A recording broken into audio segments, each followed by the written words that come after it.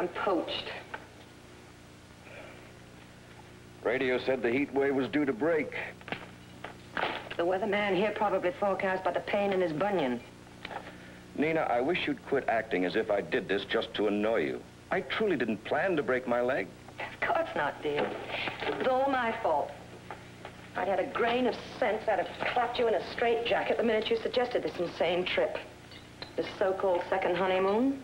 Oh, you mustn't reproach yourself. I think you've been just as unpleasant about it all as a woman could be and not draw blood. we did prove one thing, though, didn't we? Either you or that fool plow horse needs a little bit more practice at jumping fences. Well, the next time I break my leg, I'll try and choose a swankier spot than Aunt Sophie's farm. I'd appreciate it. Someplace where I don't have to play Sunbonnet Sue for weeks. Want your pillow patted or your hand held or anything? Don't bother. I'm all right. Just trying to be a dutiful wife. Trying to be a what? Just a figure of speech, dear. Don't kick it around. Anyway, Aunt Sophie thinks I'm the most dedicated nurse since Nightingale. Aunt Sophie's always been fond of you. Aunt Sophie would have a go at liking your wife if you dragged in Typhoid Mary. I'm sure she'd much rather you'd have married some nice, sweet soul who tacks and puts up watermelon pickle. Oh, nonsense. Can I come in? Oh, come in, Aunt Sophie. Thought you might like some iced tea. Sounds swell. You must be awash with tea. You've had a gallon of it today. Oh, such awful weather for you to have to stay in bed. If I'd had any kind of think you could have had my room. Gets the breeze. Oh, by the way, Al Newsom called up this afternoon. He wants to see you real soon. So I told him to stop by any time. You remember him, don't you, dear? Al, sure. How is he? Oh, same as always. Still has his dairy. Nothing much changes around here, does it? Not much, I guess. Seems to me everything's about the same as it was when I came here a bride 40 years ago. 40 years? 40 years this June. How time flies. Oh, I'm afraid it's not very exciting here for you, Nina. Well, Nina was just as excited as I when we decided to break up our trip and come by and see you. Weren't you, dear? Yes, I love the idea. When I think of how your lovely vacation has been ruined, I could just cry. But I must say, I can't think of anything that could give me more pleasure than having you two children paying me such a nice visit. I've been trying to get back here for a long time. Haven't I, Nina? Yes, he's forever talking about this farm. His Uncle Bert and I used to love to have him come for a visit. Do you still like strawberries, Carl? I love them. Well, I'll make us a shortcake tonight. I've got a good 20 quarts in the freezer. You know, when you were a little shaver, your Uncle Bert and I used to say we did believe you could eat your weight in strawberries. Now, you let me know if I can do anything. I don't think you'll have to bother. I uh, have such a sweet little nurse. I know. You should have been a nurse, Nina, dear. Probably as sweet, friendly, gentle a little nurse as a man could find for miles around. I shouldn't be at all surprised. Just can't quite manage to be a good sport about it, can you? Carl, dear, just because you've been as close to the earth as an artichoke ever since you were a little shaver, don't expect me to go around organizing quilting bees. I should have learned long ago not to expect you to do one thing you didn't want to do, ever. Well, right now, I don't want to fight. It's far too hot. So, Well, here's the local news. anything in it? Let's see. Oh, yes, the weather's supposed to break. And the governor is going to address the county grange this week. Isn't that nice? Want to read it? No, thanks. Just bring me my tea.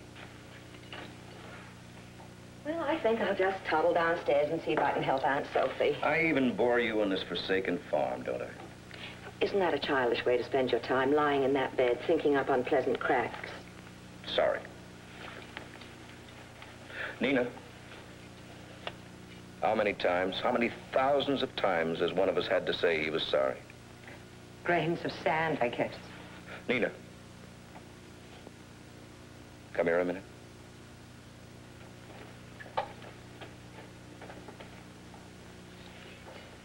You know, being married to you is more important to me than anything else in the world.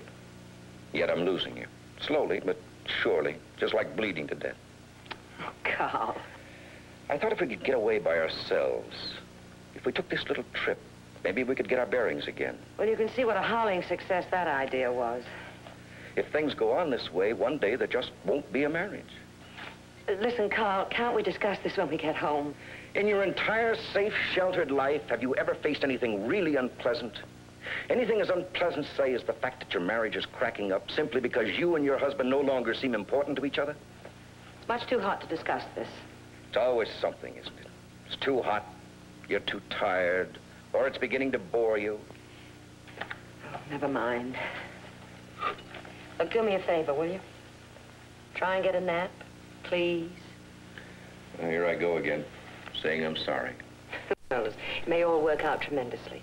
We may finish up so cozily married that they'll put us on a postage stamp.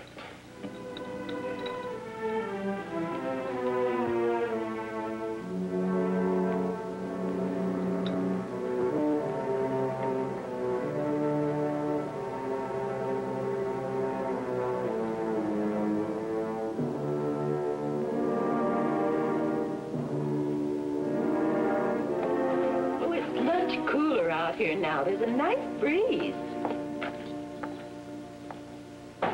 How's Mr. Barton? Coming along fine, thanks, Joe. Sure is a shame the way they spoil your vacation. Oh, but you're spending your holiday here on the farm, aren't you? Yeah, but I like it here.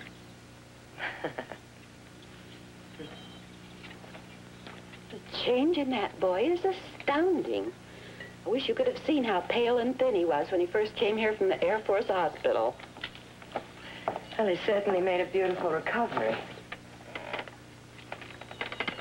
You know, Joe tells me the Air Force kept him too busy to do anything but fly their old airplanes. In that uniform, he must have had the female population swooning. You aren't happy, are you, Nina? Why? Oh, I don't know why, dear. I do know that when you and Carl were first married, the way you looked at one another lighted up the sky. Now, Please, Aunt Sophie, please. you know, the trouble with young people nowadays is that they just don't work at loving one another. Must you work at loving someone? Indeed, you must. Some women have too easy a life. They just don't realize that. Hi. Joe, why don't you rest for a little while? All right. It's too hot for you to be running around all the time. Would you like some iced tea? Uh, no, thank you, Aunt Sophie. I think I'll just read the paper for a while. Say, I see they haven't caught that guy that uh, murdered the jeweler and walked off with a diamond necklace. I doubt if the local police here could find the corner grocery store, let alone a murderer. Yeah, the lead they had on the necklace turned out to be a big nothing. Don't you just know that sheriff was disappointed? He thought he finally had himself a clue. You mustn't joke about it. I hope he's caught and punished. But I hope they do it a long ways away. We're not used to violence in this town. I wonder if Carl needs anything. Well, I think he's all right, dear. He's probably taking a nap.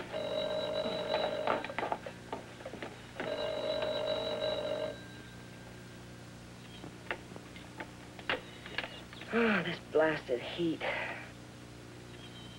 Storm tonight.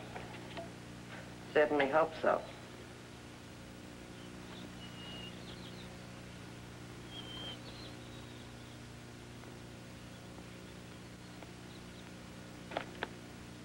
No, Jim, I won't have the girls staying alone. They're such little things. All right, Jim, nine o'clock. I'll be ready.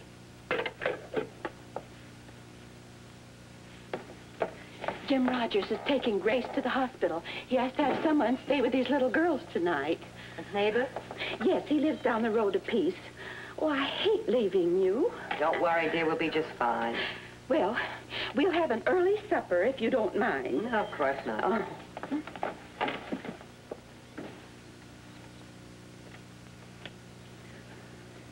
Now, you're sure you're going to be all right? Of course, dear. I may not look it, but I am capable of making breakfast for the boys. Well, there's Jim. You better hurry, Aunt Sophie. Storm will be here any minute. I'll be back first thing in the morning. All right.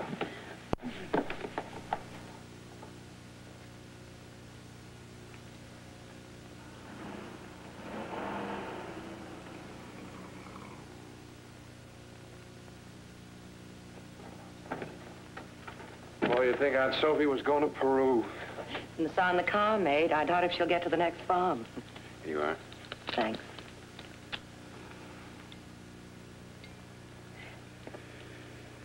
I think I'll read for a while and then turn in. That's as good an idea as any. Anything I can do for Mr. Barton? No, thanks. I'll give him a sedative so he can sleep. Good night, Miss Barton. Good night, Joe.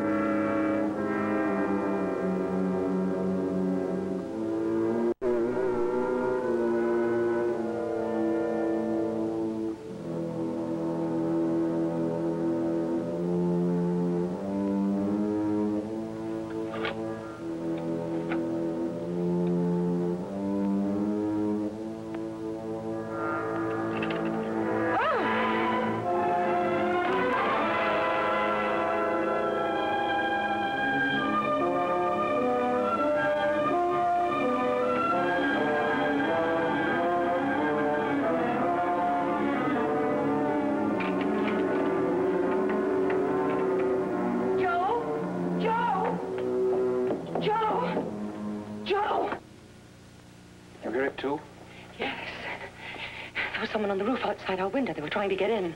I know. I've fallen asleep in the chair out there. Somebody woke me up. I went outside, but there's nobody there. I'll check in back. No, please, don't leave us. Carl's helpless. Call the police, will you? All right. Hello. Hello. I can't get anybody. The storm must have broken the line. Are you sure? Yes. Now relax, relax. Go in the living room. We'll have a cigarette.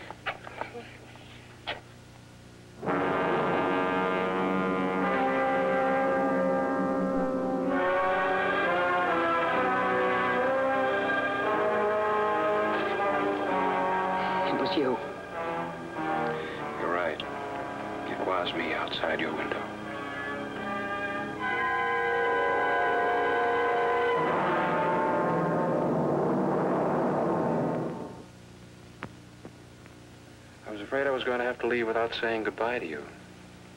If I hadn't wakened you while I was trying to get your dear husband's money, I'd have been in the next county by now. I'm glad you woke up. Now, listen, Joe. Don't be silly. Don't run away, Mrs. Barton. I'm crazy about you. You know that, don't you? I won't hurt you. What's the matter with you, Joe?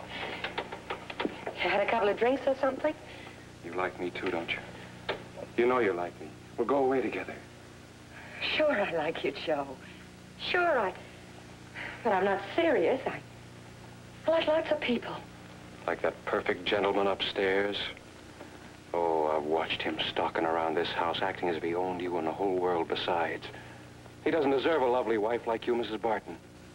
He ought to be smacked around a little bit. You think I ought to smack him around a little bit, Mrs. Barton? How'd, how'd you like to know that just for once, everything doesn't depend on his whim? Oh, stop it, Joe. He's never harmed you. Don't make any trouble. There won't be any trouble, because we won't be here. In the bottom of dear Aunt Sophie's bureau, there's almost $300 cash. And there's him, conveniently available in the guest room. Joe, we have very little cash with us. I know, but you do have traveler's checks. I saw them. And Mr. Barton will sign them. I promise you when I get through with them, Mr. Barton will be happy to sign them. Joe! They'll never cash those checks for you, you know. They have to see you sign them. See, we'll stop at a very small town. We'll be so apologetic. We'll hate ourselves for being so stupid as to have signed them all. We'll ask them just this once to make an exception. What do you bet they get cashed? Yeah, and if we ever need any more money, they're your jewels. You do have jewels, don't you? Oh, sure. Sure, lots of them. Joe, listen. I have an idea. Why don't I go upstairs now? Hmm. Get the car keys, and the jewelry, and the checks. Bring them down here to you. Good. After all, it's only money to Mr. Barton. Sure. And what can he do to stop you? Yeah, he'll be civilized about it. I'll see to it. Joe, why would you want to harm him, Joe? He's only been friends with you. You don't condescend to your friends. He even tried to tip me the day I helped him with the horse. He was just trying to show his appreciation. I think Mr. Barton needs manners. I don't like people who look down their nose at me. What's the matter with you? Are you mad? Because I go after what I want.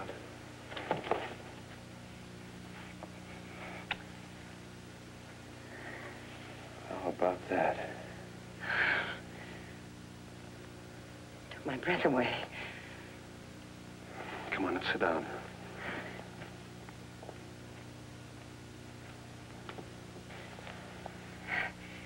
Didn't the Air Force object to this little habit of yours of taking whatever you wanted? I wasn't ever in the Air Force. I wasn't in the hospital either. I did three years, but not in the service. You must have had a very interesting life, Joe. Tell me more about yourself. Oh, you can have a lot of fun. It's nice taking what you want, making people do what you say. We can leave tonight. Well, I, I'd have to think it over, Joe. If I do go with you, will you promise me you won't hurt Carl? I don't have to make bargains. What good would it do to hurt him? This way we can leave together without it being a crime. There won't be any trouble. Carl won't press charges. We just go. yes. Won't it put his nose out of joint? Oh, brother. Barton offers me a tip. And I end up with his money, his car, and his wife. Now, Joe, you promise you won't hurt him, will you? Stop worrying about him. Listen, I got something that'll make you forget all about him. Come on.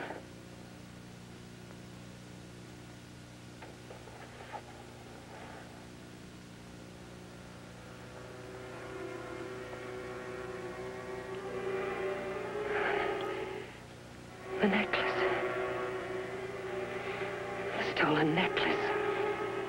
The one everybody's been looking for. I'd kill any time for pretty things.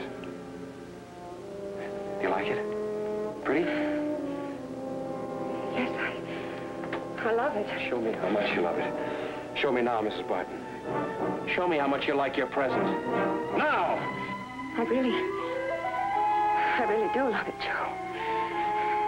He never gave you anything like that, did he? Oh, did he? No, nothing like I'll this. bet he didn't. No. No. He could maybe walk into a fancy store and lay down his money and buy it. But that doesn't mean anything, does it? It doesn't call for nerves. It's not like taking what you want. Paying for it, anybody can do that. But do you know what I had to go through to get that? No, but I can guess, Joe. Hey, yeah, I got an idea. Let's go show off your present. What do you mean? Let's take it upstairs and show Barton. Let's show him he isn't the only man in the world can give things. Come on, let's throw it in a silly face. Come on! Joe! I just remembered something. I do have to pack, don't I? Yeah? Well, I'll need my big suitcase. Would you get it for me? Well, sure. Where is it? It's right here in the closet on, on the top shelf. Oh, I get a kick out of out of watching Barton's face when he's watching you pack.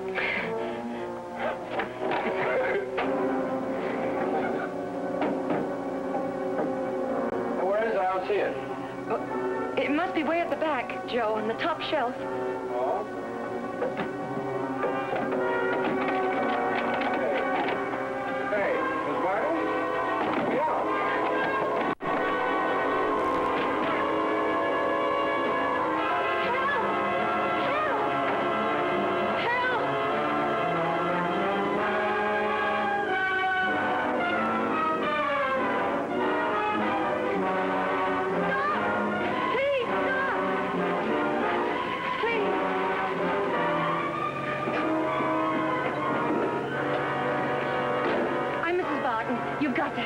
What's the matter, lady? The man who killed the jeweler is in our house.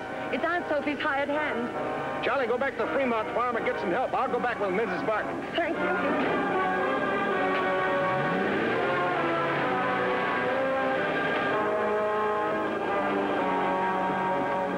You'll be all right, Mrs. Barton.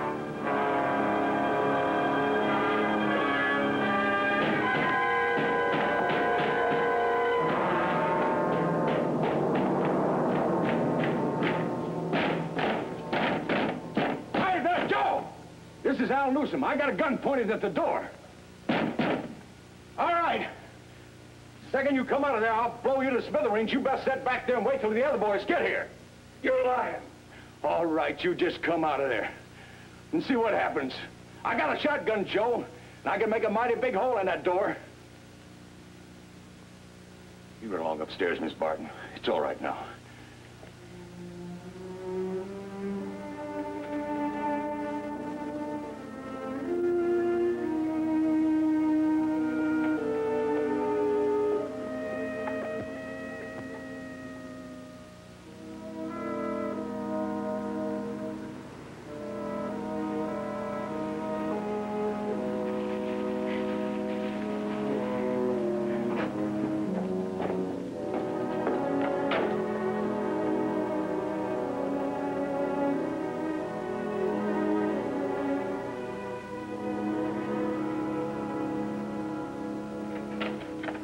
Out here. No trouble. Right time up, boys.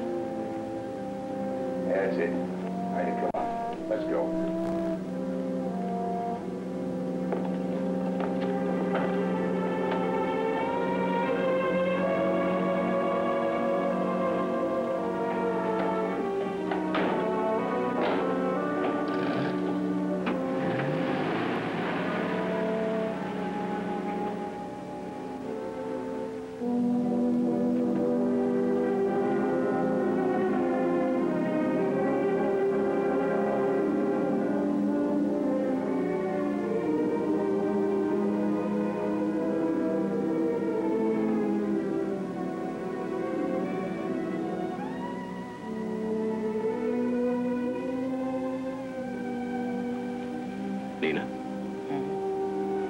Wrong?